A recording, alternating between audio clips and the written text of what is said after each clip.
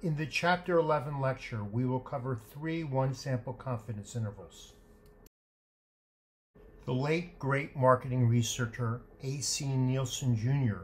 provides a clear rationale for confidence intervals. Nielsen wrote, Too many business people assign equal validity to all numbers printed on paper.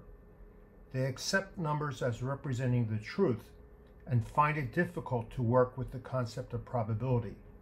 They do not see a number as shorthand for a range that describes our actual knowledge of the underlying condition. Confidence intervals provide the measurement of this range. In 1937, Jerzy Neyman introduced confidence intervals.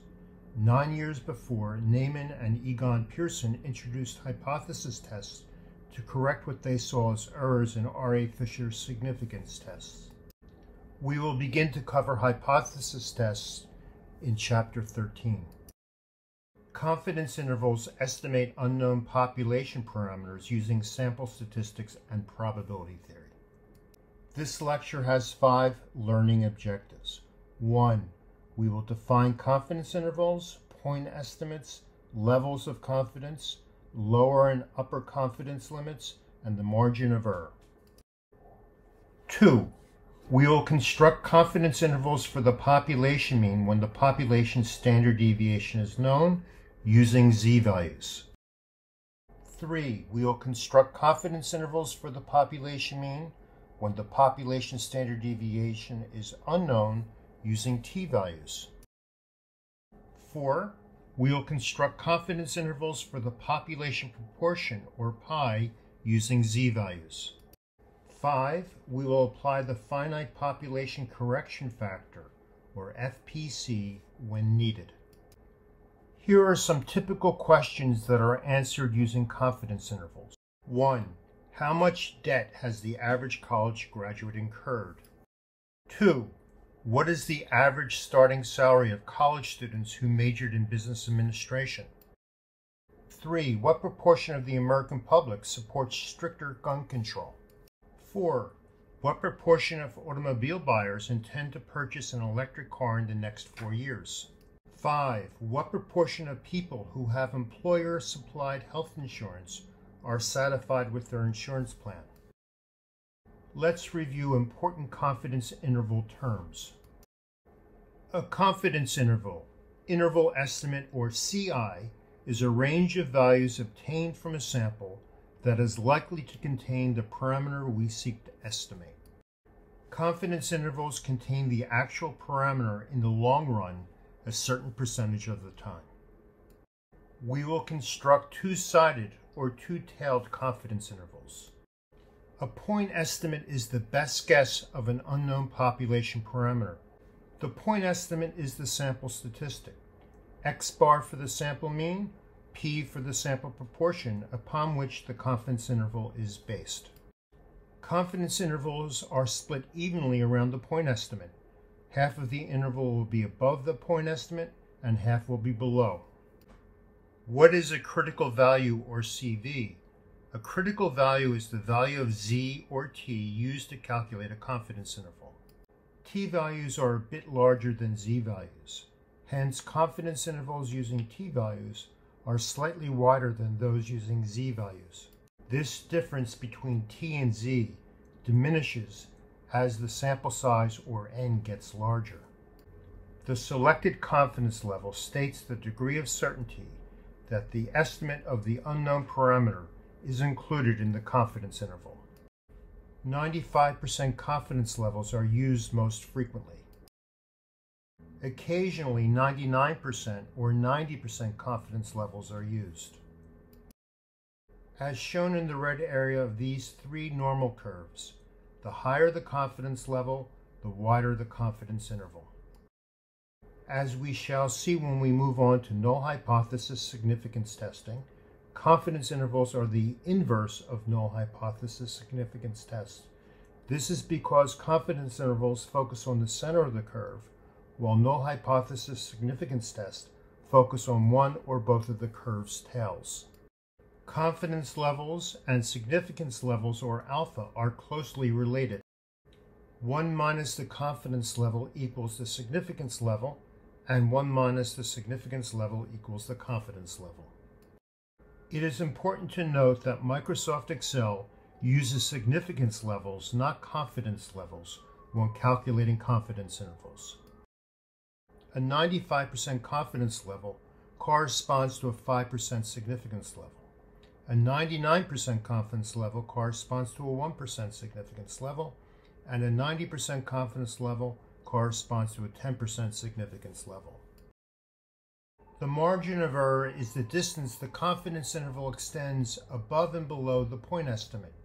It is usually presented after the point estimate as the figure after a plus or minus sign. The margin of error should be shown whenever survey results are presented. Here is a National Geographic survey that asked respondents if they believed in unidentified flying objects. 36% of Americans, plus or minus 2.9%, said they believed in UFOs.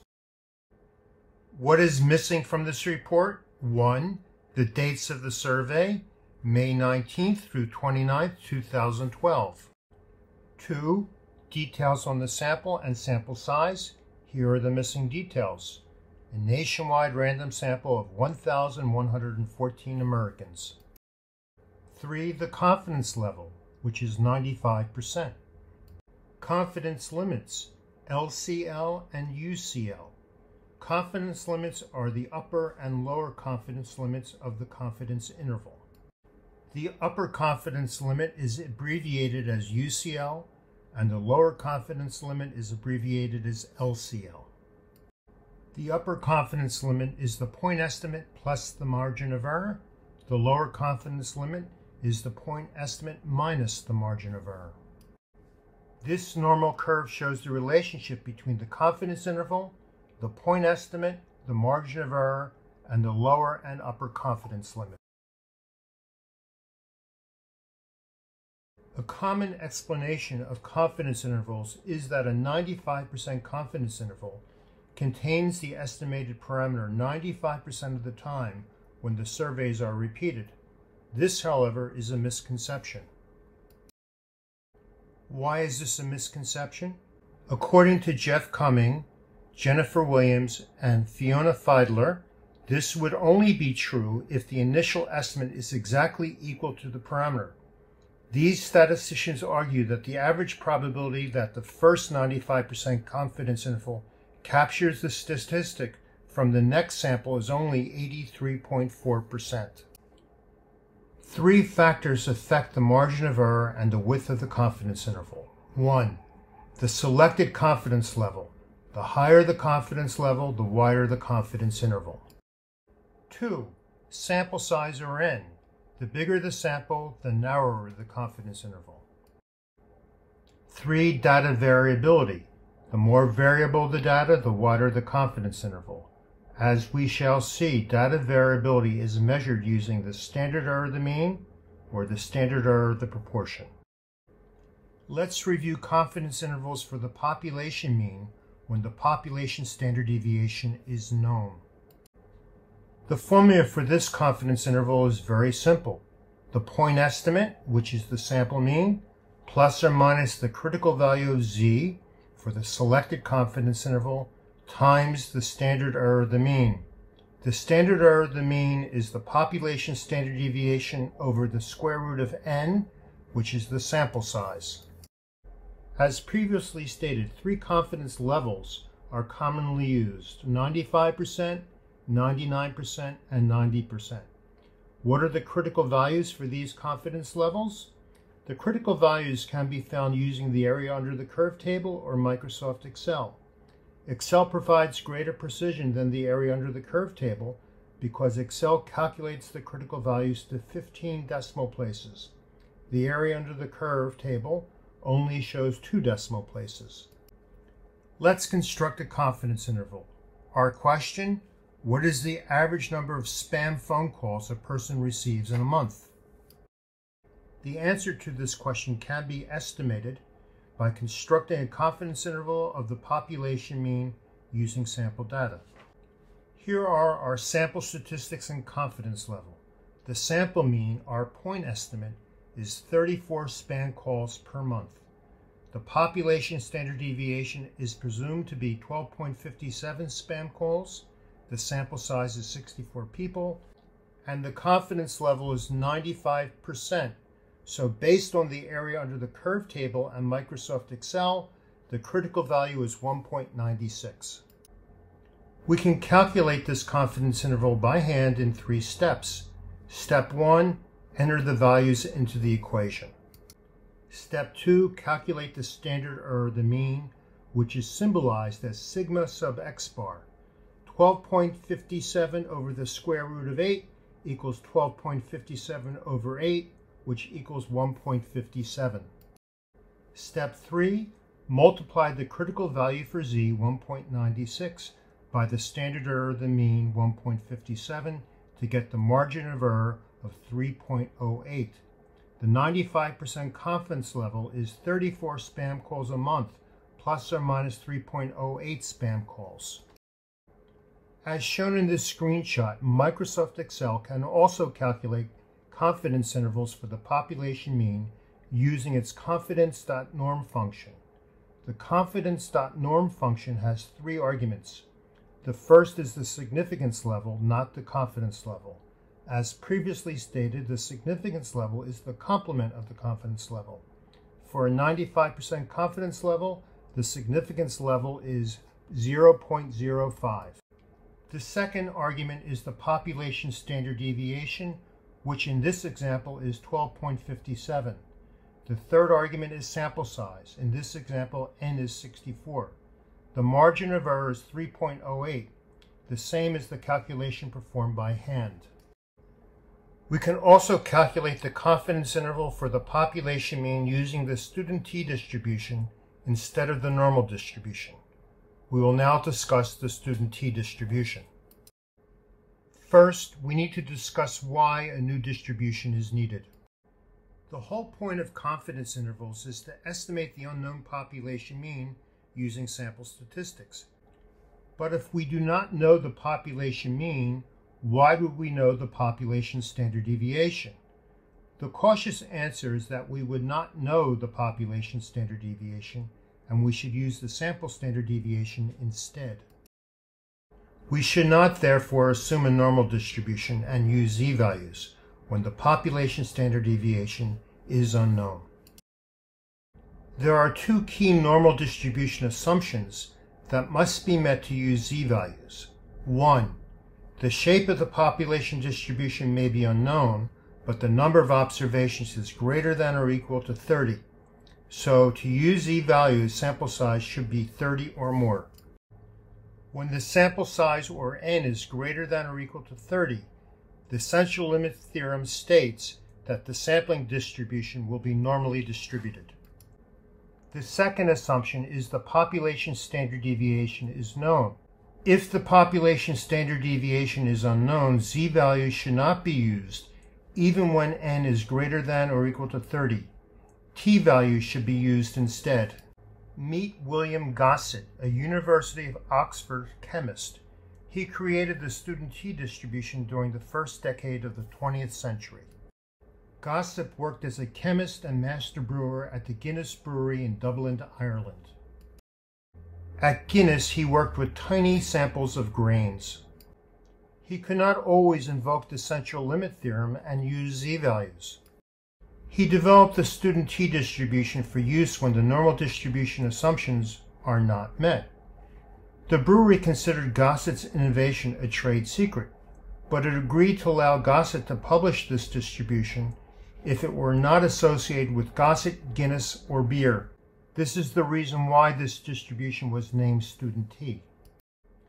Today, student T is used more often than z-values. In 1906-1907, Gosset had a leave from Guinness to study at Karl Pearson's laboratory, the Galton Eugenics Laboratory at University College London. Pearson was editor of Biometrika, a journal dedicated to providing statistical support for eugenics and Darwin's theory of evolution. Gosset tried and failed to interest Pearson in student T. Pearson, who used large samples, saw no reason to use student T. In 1912, Ronald A. Fisher, a very influential statistician of the first half of the 20th century, set the mathematical foundation for the student t distribution. The student t distribution is continuous and symmetrical like the normal distribution.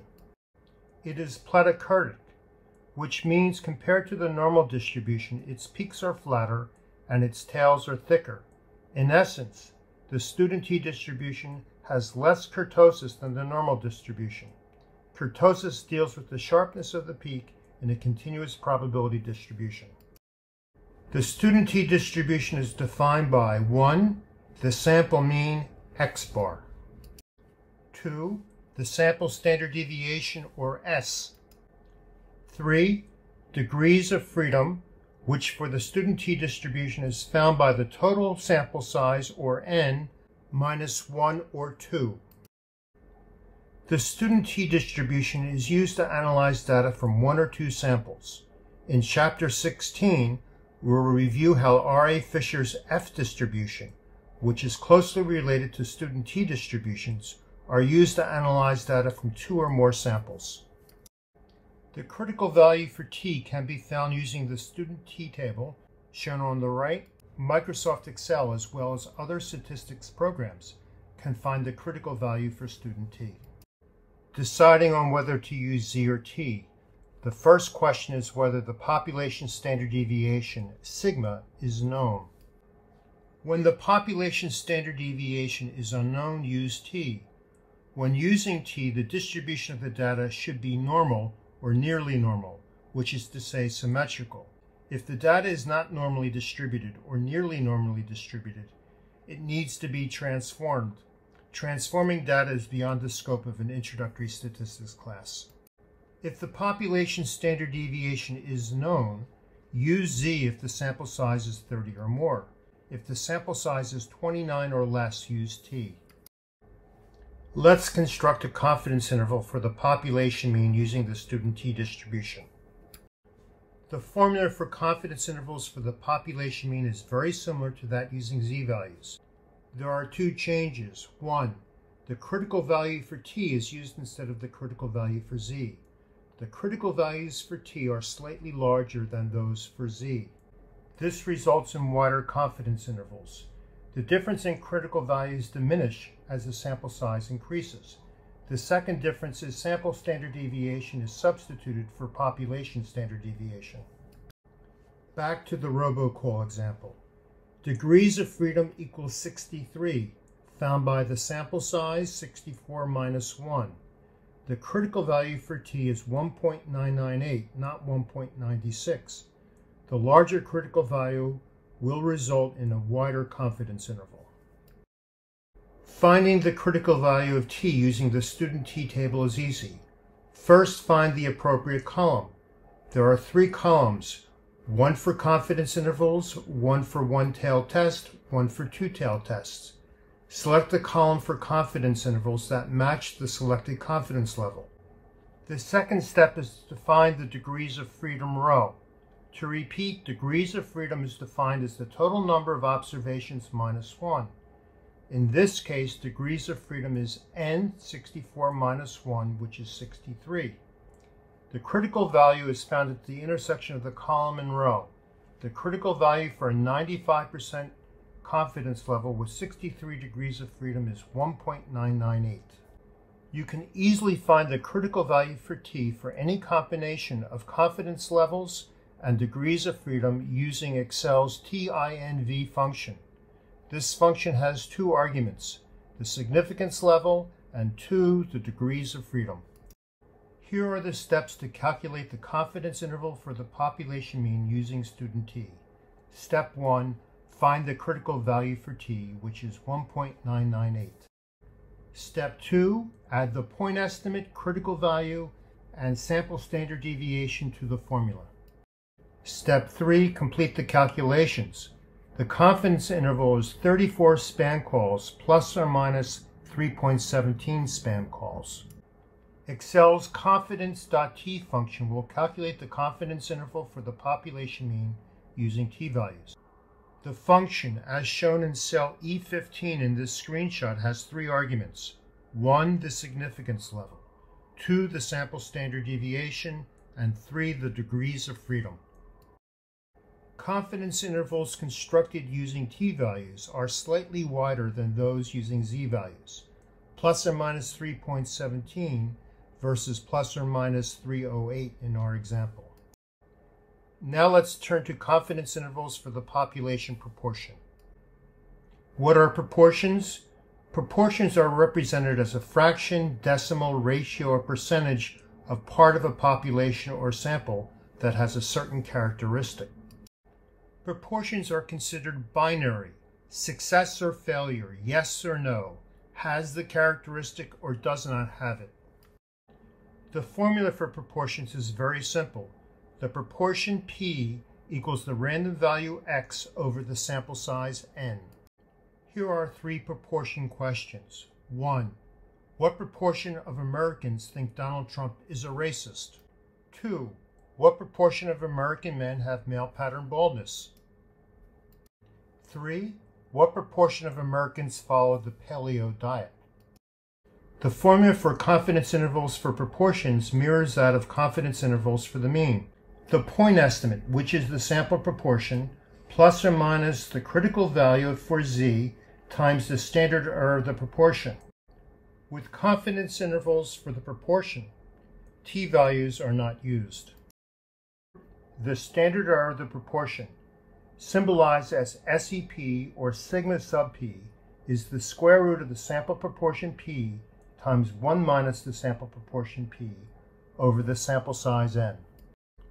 For decades, the Gallup poll has been surveying Americans on their attitudes toward the legalization of marijuana.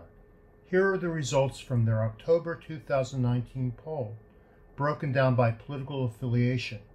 In this survey, 66% of Americans favored the legalization of marijuana for recreational use.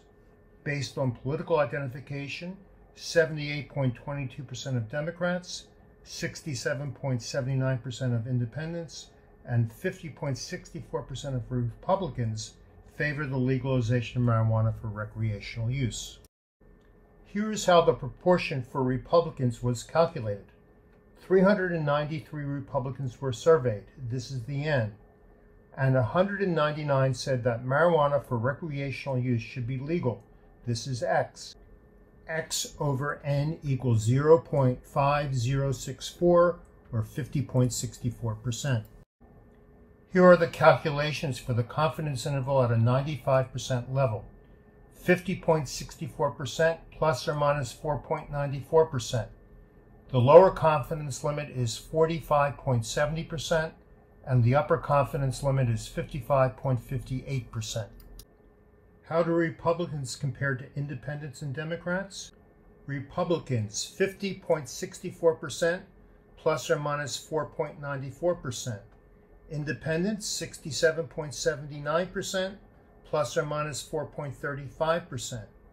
Democrats, 78.22% plus or minus 4.31%. Given that the confidence intervals do not overlap, we can conclude that independents are more likely to favor the legalization of marijuana than Republicans, and Democrats are more likely to favor the legalization of marijuana than independents. Charting the confidence intervals is a way of visualizing our findings. Finally, let's review the finite population correction factor, or FPC factor. The finite population correction factor is used with small samples when the samples are greater than or equal to 5% of the population. The sampling is done without replacement, which means that once an item is selected from the population, it is not returned to the population. The finite population correction factor makes the confidence interval more precise. Here is the formula for the finite population correction factor. FPC is the square root of the number of observations in the population minus the number of observations in the sample over the number of observations in the population minus 1. Here is the formula for confidence intervals for the population mean using the finite population correction factor. The point estimate, which is the sample mean, plus or minus the critical value of t, times the standard error of the mean times the population correction factor. Let's construct a confidence interval using the finite population correction factor. Lara is secretary of her high school graduating class. She is preparing for the 20th class reunion. She wants to estimate the average number of children her classmates have. The sample mean is 1.6 children and the sample standard deviation is 1.2 children. She takes a sample of 25 graduates from a population of 150 graduates. There are 24 degrees of freedom found by the n of 25 minus 1. The critical value for t at a 95% confidence level is 2.064. The finite population correction factor is 0.916. This correction reduces the width of the confidence interval. Based on this calculation, the 95% confidence interval is 1.6 children plus or minus 0.454 children. Except where otherwise noted. Clear-Sighted Statistics is licensed under Creative Commons license. You are free to share derivatives of this work for non-commercial purposes only. Please attribute this work to Edward Volchok. You can access Clear-Sighted Statistics for free along with its Excel and PowerPoint files on the CUNY Commons. The URL is https forward slash forward slash cuny.manifoldapp.org forward slash projects forward slash clear dash sighted dash statistics.